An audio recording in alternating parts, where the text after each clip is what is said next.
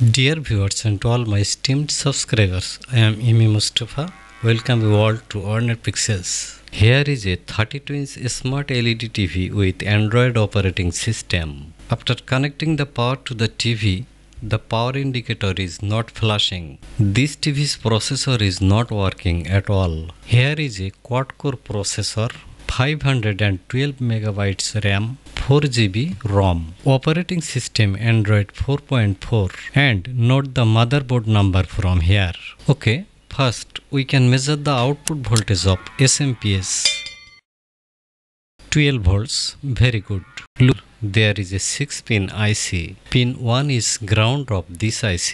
12 volts input to pin 3 and 5 volts output from pin number 2 for processor. Now we check whether pin 2 has 5 volts or not.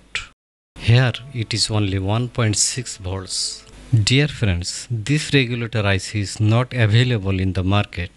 So we can use this low cost 3 ampere DC to DC converter circuit here.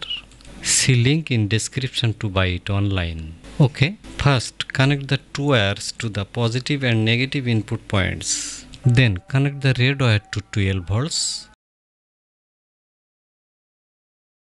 and connect the black wire to the ground. Okay, now connect the power to the TV, then the indicator LED will light up. Now attach the meter probes to the output points, then adjust VR to 5 volts. Okay, a slightly lower voltage is better. Anyway, now connect the two wires to the 5 volts output point. Now look, this is the filter capacitor for 5 volts output. So, the two wires of the regulated 5 volt have to be connected here. Okay, now I am connecting the power to the TV. The standby light is on.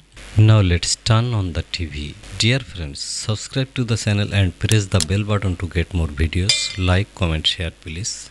Thanks for watching.